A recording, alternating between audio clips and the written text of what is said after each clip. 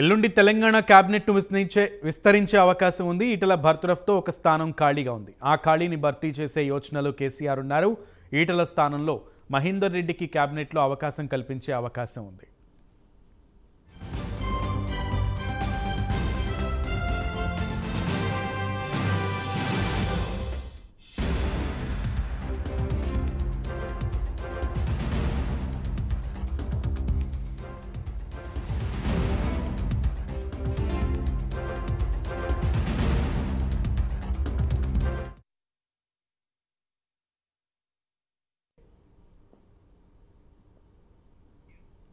ఎల్లుండి తెలంగాణ క్యాబినెట్ను విస్తరించే అవకాశం ఉంది. ఈటల బర్తురఫ్తో ఒక స్థానం ఖాళీగా ఉంది.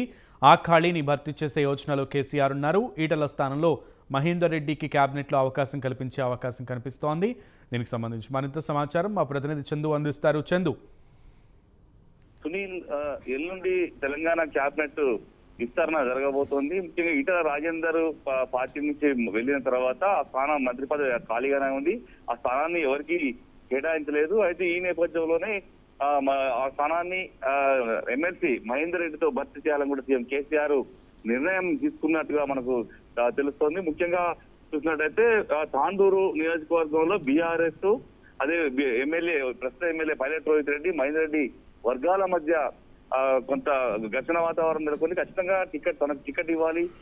ఈ తాడూరు నుంచి అని కూడా గత కొంతకాలంగా మహేందర్ రెడ్డి బహిరంగ ప్రకటనలు చేస్తూ వస్తున్న నేపథ్యంలో అయితే ముఖ్యంగా మహేందర్ రెడ్డితో పాటు ఆయన భార్య మరికొంతమంది నేతలు పార్టీ మారుతారని ఒక ప్రచారం అయితే జరిగింది. ఈ నేపథ్యంలోనే సీఎం కేసీఆర్ మహేందర్ రెడ్డిని పిలిపించుకొని కూడా మాట్లాడారు. ఎందుకంటే ఉమ్మడి రంగారెడ్డి జిల్లాలో మహేందర్ రెడ్డి బలమైన నేతగా ఉన్నారు. ఈ నేపథ్యంలో ఒకవేళ ఆయన పార్టీ మారితే రంగారెడ్డి జిల్లాలో పార్టీకి భారీగా డ్యామేజ్ జరుగుతుందని భావించిన కేసీఆర్ మంత్రి పదవి ఇస్తానని కూడా హామీ ఇచ్చారు. హామీ లో భాగంగానే తనకు ఎల్లుండి ఆ క్యాబినెట్లో తీసుకునేందుకు కూడా నిర్ణయం తీసుకున్నారు. ఈ లోపల రేపు ఆ గవర్నర్ కూడా ఈ సిఫార్సు ఆ, చేస్తారు. ఎల్లుండి ప్రమాణ స్వీకారం ఉండేటట్టు అవకాశం అయితే మనకు స్పష్టంగా కనిపిస్తోంది Sunil. Right Chandu thank you